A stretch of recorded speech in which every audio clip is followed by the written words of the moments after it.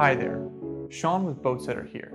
So you've listed your boat on our website. Wondering what to expect next? Don't worry.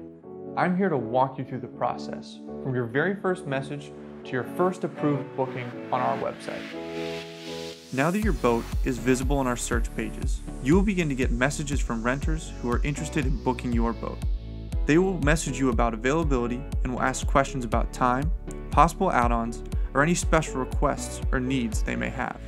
When you receive a message from a renter, you will receive both an email and a notification on your mobile app. Remember, you can't reply directly to the email. Access your owner's dashboard either on a computer or on the mobile app and respond under the Messages tab. Be sure to respond promptly to any request.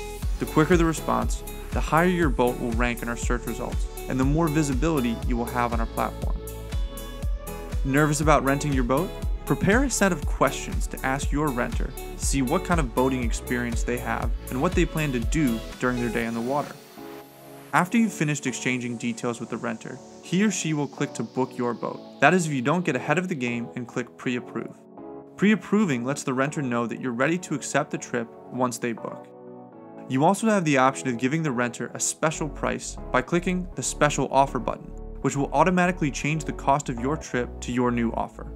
Once he or she accepts, an official booking will be made and you will begin to receive emails with instructions and special documents needed for the day of the rental.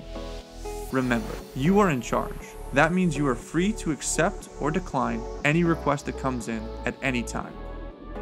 And that's it. Easy enough, right?